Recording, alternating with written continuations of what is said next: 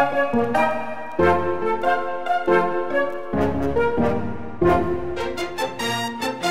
Darren Marlar, and this is your daily dose of Weird News.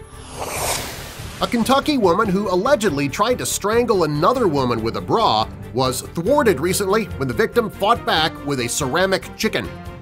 And nothing I can add to that story will make it any funnier. An Ohio woman stabbed her boyfriend because he was eating all the salsa.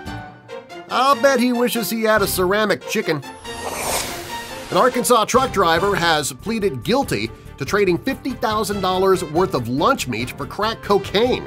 It's unclear exactly how much crack was traded for the truck of lunch meat. There you go. Undeniable proof that drugs do impair your judgment. A miniature dachshund has been rescued after spending 13 days trapped underneath a concrete slab at her home in Kansas.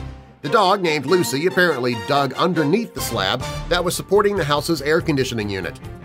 Underneath a concrete slab in Kansas during the height of tornado season. Isn't that exactly where you want to be? A new study shows that a third of Americans who are saving for retirement currently have less than $1,000 put away, which still puts them way ahead of the government trying to fund Social Security. A South African kayaker recently came face-to-face -face with a great white shark when the predator grabbed his boat, gouged it, and then spent an hour harassing him. Apparently sharks don't know how politically incorrect bullying is nowadays.